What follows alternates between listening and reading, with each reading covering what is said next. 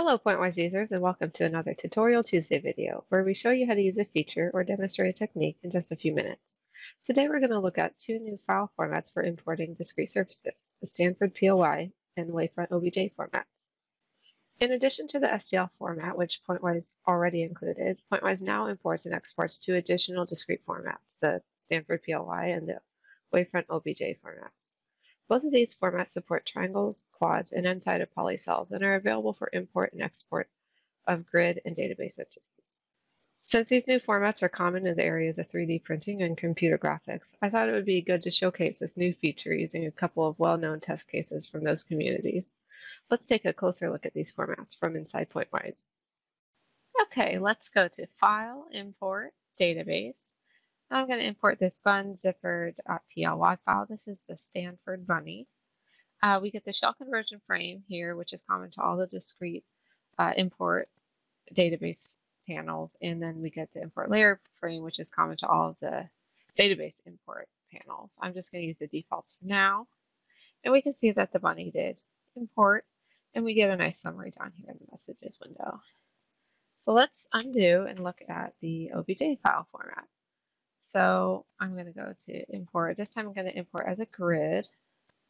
And I'm going to import this teapot.obj. This is the Newell or the Utah teapot. And we have this domain splitting frame. If I wanted to isolate feature edges, I could certainly um, set a split angle, but I'm just going to, again, use the defaults.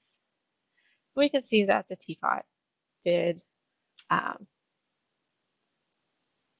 did import, we get, again, a nice summary down here, and we have four unstructured domains.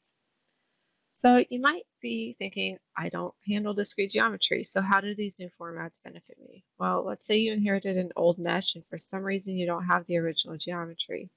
Obviously, without a geometry to constrain to, your surface mesh could easily be destroyed with any updates you might make. So what you can do in this situation is export your existing surface mesh as one of these discrete formats and then import it back into Pointwise as a database to constrain to. So let's look at that option. We have our domains selected. Let's go to File, Export Grid. And since I imported this as an OBJ, I'm going to export it as a PLY, but you could certainly choose any format here. Um, and we'll give it a name and save. And there are no export options, but we can again see that it did successfully export down here in the messages window. If you like this video, be sure to click the thumbs up button or subscribe to our channel for more videos like this. If you have any questions, comments, or suggestions, drop us a line below or connect with us via LinkedIn, which is linked in the description. Thank you all and have a pleasant Tuesday.